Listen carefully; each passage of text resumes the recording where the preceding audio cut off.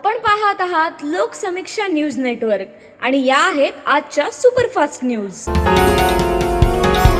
या बातमीपत्राचे प्रायोजक आहेत Shri Hari wholesale sari depot and menswear परभणीचे महावस्त्र दालन खास लग्न बस्त्याचे माहेर घर तोष्णेवाल कॉम्प्लेक्स जागृती मंगल कार्यालयाच्या बाजूला वसमत रोड परभणी. नमस्कार मी प्रभू दिपके लोकसमीक्षा न्यूज नेटवर्कमध्ये आपलं स्वागत करतो. आपण पाहत आहात परभणीचं एकमेव बातमीपत्र लोकसमीक्षा सुपरफास्ट. कोरोना संसर्गाची तिसरी संभाव्य लाट लक्षात घेता परभणी महापालिकेच्या वतीनं शहरात प्रतिबंधात्मक उपाययोजनांना सुरुवात करण्यात आली आहे. शहरातल्या व्यापाऱ्यांनी कोरोना नियमाचं पालन करावं अन्यथा त्यांच्यावर कारवाई करण्याचा इशारा देण्यात आला आहे. तिसऱ्या लाटेच्या पार्श्वभूमीवर राज्य शासनानं मार्गदर्शक सूचना जारी केल्या असून त्यानुसार परभणी महापालिका कार्यक्षेत्रातील सर्व आस्थापना व्यापारी विक्रेते व्यावसायिक सर्व दुकानदार किराणा दुकानदार सर्व पेट्रोल पंप चालक फुले विक्रेते सराफा विक्रेते वाहनं विद्युत उपकरणं दुरुस्ती उपहारगृह चालक यांनी नियमाचं पालन करावं. ज्यामध्ये मास्क वापरणं सामाजिक अंतर राखणं सर्व आस्थापनांमध्ये हात धुण्याची व्यवस्था आस्थापनांमधील मालक व कर्मचारी यांनी R T P C R चाचणी तसंच कोरोना प्रतिबंधक लस घेणं बंधनकारक असून या बाबीचं पालन न करणाऱ्या आस्थापनांवर कारवाई करण्यात येईल असं महापालिकेच्या वतीनं कळविण्यात आले केंद्रीय अर्थराज्यमंत्री डॉक्टर भागवत कराड यांनी गंगाखेड तालुक्यात आज दौरा केला आहे. त्यांच्या दौऱ्यात त्यांनी गंगाखेड विधानसभा मतदारसंघाचे रासपचे आमदार डॉक्टर रत्नाकर गुट्टे यांच्या कार्यालयात भेट देत मतदारसंघातील उपस्थित असलेल्या पदाधिकारी कार्यकर्ते व नागरिकांना मार्गदर्शन केलं. यावेळी डॉक्टर कराड यांनी आमदार डॉक्टर रत्नाकर गुट्टे यांच्या कामाचा आढावा घेत समाधान व्यक्त करून आमदार गुट्टे यांचं कौतुक केलं आहे आमदार गुट्टे यांनी मतदारसंघाच्या विकासासाठी केलेला पाठपुरावा प्रशंसनीय असल्याचं सांगत त्यांनी त्यांच्या कामाची पावतीच दिली आहे यावेळी आमदार डॉक्टर रत्नाकर गुट्टे यांच्यासह रासपचे पदाधिकारी कार्यकर्ते व आमदार डॉक्टर रत्नाकर गुट्टे मित्रमंडळाचे पदाधिकारी मोठ्या संख्येने उपस्थित होते. नंदिनी कलेक्शन फक्त महिलांचे परिपूर्ण दालन. माऊली निवास कल्याण मंडपमच्या बाजूस यशोधन नगर परभणी. परभणी शहरातल्या स्टेशन रोडवर असलेल्या महाराष्ट्र बँकेजवळ महापालिकेच्या वतीनं नालीचं खोदकाम करण्यात आलंय. मात्र ही नाली बुजविताना कंजूसी केल्यानं अनेक वाहनं या ठिकाणी अडकून पडत असल्याचं दिसून आलं आहे याचा फटका या भागातील नागरिकांना सहन करावा लागतोय. आज सोळा ऑगस्ट रोजी तिथून जाणारा एक टेम्पो या नालीमध्ये अडकल्यानं जवळपास तीन तास या परिसरातील वाहतूक ठप्प झाली होती. मनपानं खोदलेली नाली व्यवस्थित भरून घ्यावी अशी मागणी या भागातील नागरिकांनी केली आहे. प्रादेशिक हवामान केंद्र मुंबई येथून प्राप्त झालेल्या अंदाजानुसार येत्या दोन दिवसात मराठवाड्यात तुरळक ठिकाणी वादळी वारा विजांच्या कडकडाटासह जोरदार पाऊस पडण्याची शक्यता आहे.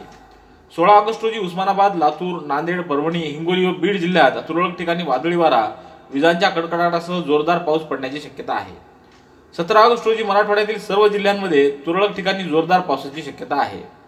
तर अठरा ऑगस्ट रोजी औरंगाबाद व जालना जिल्ह्यात तुरळक ठिकाणी वादळी वारा विजांच्या कडकडाटासह जोरदार ते खूप जोरदार पाऊस पडण्याची शक्यता आहे.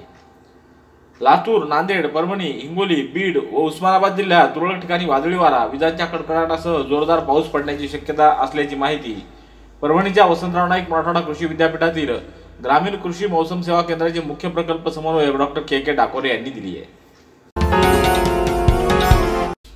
परभणीच्या बस स्थानक परिसरातील सर्वे नंबर चारशे पंचेचाळीस या ठिकाणी काही व्यावसायिक हे व्यवसाय करतात आणि या जागेचा महसूल अकृषीधारा कर नियमित भरतात. मात्र काही भूमाफिया यांनी या जागेचा मनपामध्ये फेरफार व बांधकाम परवाना मिळवला आहे.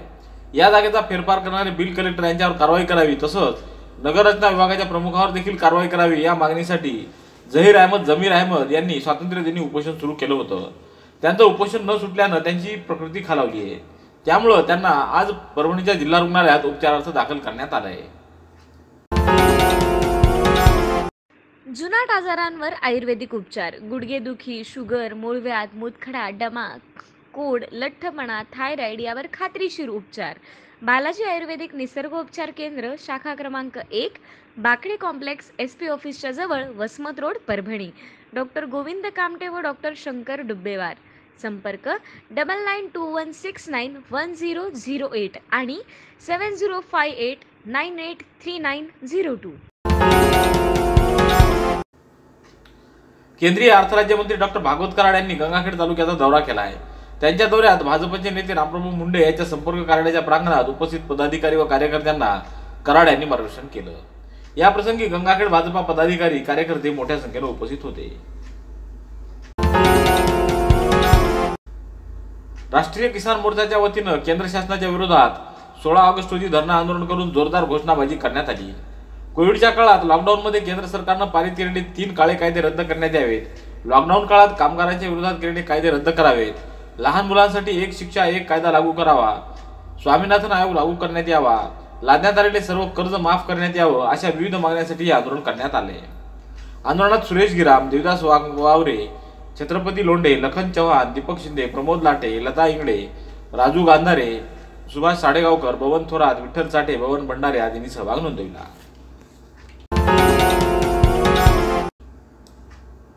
परभणीच्या समाज कल्याण आयुक्त कार्यालयाच्या वतीनं योजनांचा कृती आराखडा पुस्तिकेचं विमोचन स्वातंत्र्यदिनी जिल्हाधिकारी आचल गोयल यांच्या हस्ते करण्यात आलं. यावेळी आमदार डॉक्टर राहुल पाटील आमदार मेघना बोर्डीकर जिल्हा परिषद अध्यक्षा निर्मलाताई विटेकर जिल्हा परिषदेचे मुख्य कार्यकारी अधिकारी शिवानंद टाकसाळे जिल्हा परिषद उपाध्यक्ष अजय चौधरी सहाय्यक आयुक्त सचिन कवले तुकाराम भराड आदींची उपस्थिती होती. केंद्रीय अर्थ राज्यमंत्री भागवत कराड यांचं आज गंगाखेडीचं आगमन झाल्यानंतर त्यांनी संतोष मुरकुटे यांच्या कार्यालयास भेट दिली. यावेळी आपले परमप्रिय मित्र संतोष मुरकुटे असा प्रारंभी उल्लेख करत अर्थराज्यमंत्री कराड यांनी त्यांच्या सर्व सामाजिक कार्याची दखल घेतली. संतोष भाऊ मित्रमंडळाच्या वतीनं गंगाखेड विधानसभा मतदारसंघात गोरगरीब गरजू आणि लाभार्थ्यांना पिठाच्या गिरण्या असतील आर्थिक मदत असेल संसारोपयोगी जीवनावश्यक मदतीचा हात असेल अशा प्रामाणिक आणि निस्वार्थी भावनेतून मदतीचा हात दिला जातो. ही अभिमानाची बाब असल्याचं सांगत या कार्याला माझ्या शुभेच्छा असल्याचं डॉक्टर कराड यांनी सांगितलं.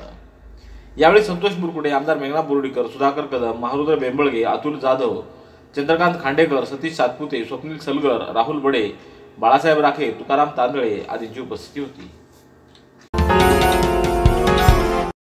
परभणी जिल्ह्यातील हजारो विद्यार्थ्यांना नोकरी देणारे एकमेव तंत्रनिकेतन श्री शिवाजी पॉलिटेक्निक परभणी. प्रवेश देणे सुरू आहे.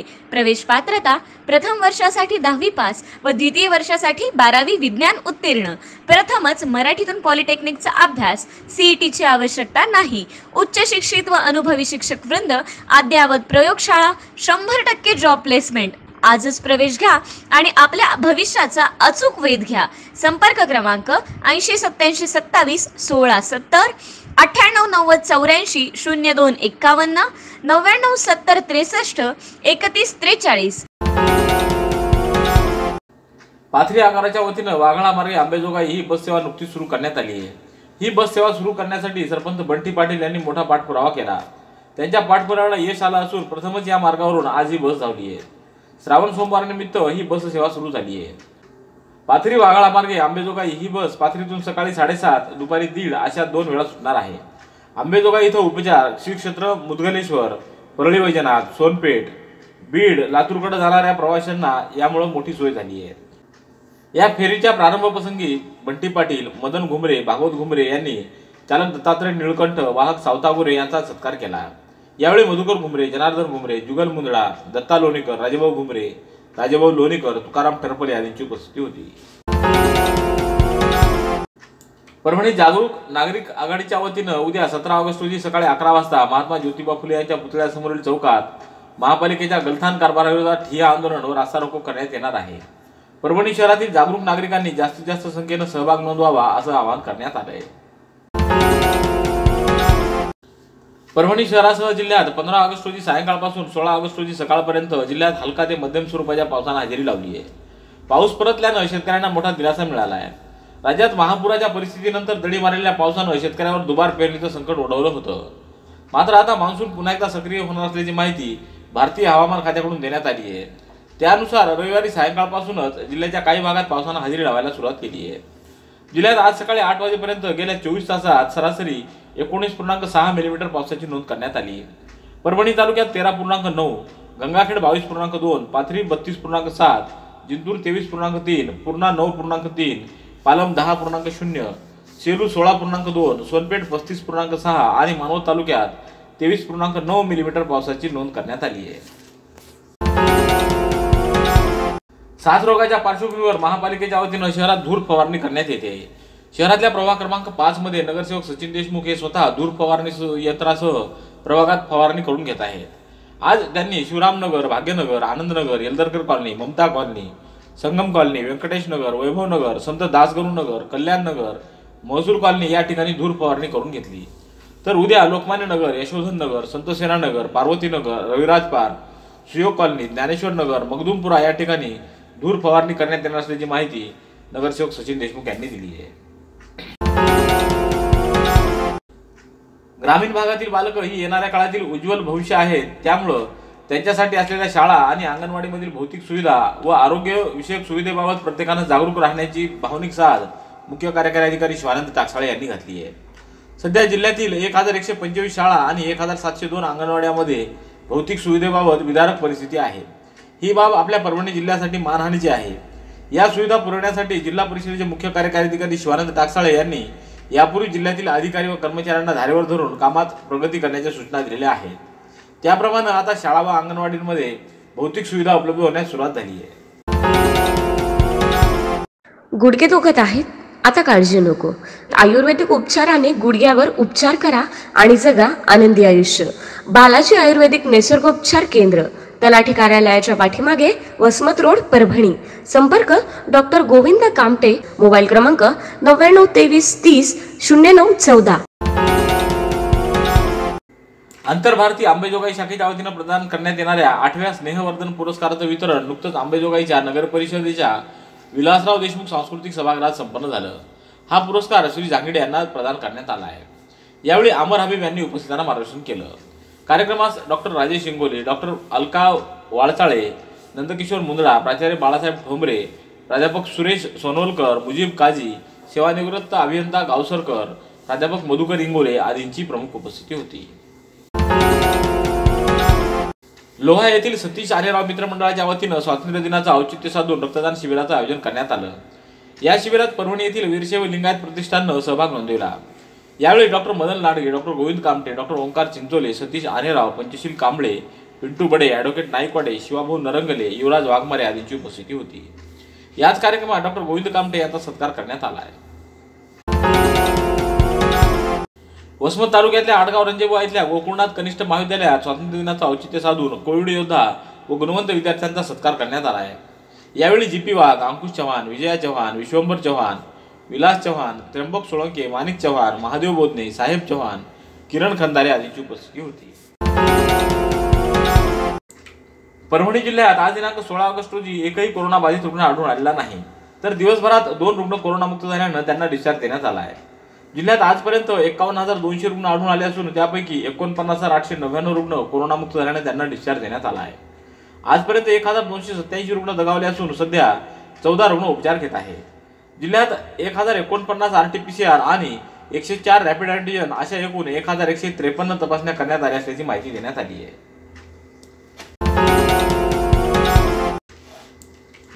नांदेड जिल्ह्यात आज दिनांक सोळा ऑगस्ट रोजी नव्यानं चार कोरोना बाधित रुग्ण आढळून आले. त्यामुळे जिल्ह्यातील बाधितांची संख्या नव्वद हजार सहाशे सत्तर इतकी झाली आहे.